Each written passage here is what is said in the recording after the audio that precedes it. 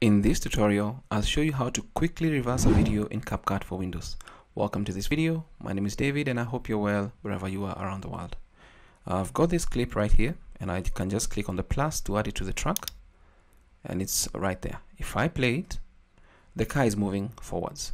But let's assume you wanted to do a reverse video effect. It's pretty simple and it's only one click. You just need to click on this button, reverse, click on that.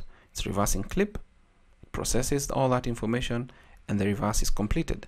Now, if we play our clip, it's going to revert to be reversed. So uh, you'll potentially more or less now see things from there they are, like where the video ended, and more or less looks like the video is moving in a different direction, like backwards. Uh, looks really good, and it's up to you to know where you would like to see it. The cars on the other end seem to be moving backwards, and that is the reverse video effect in CapCut for Windows.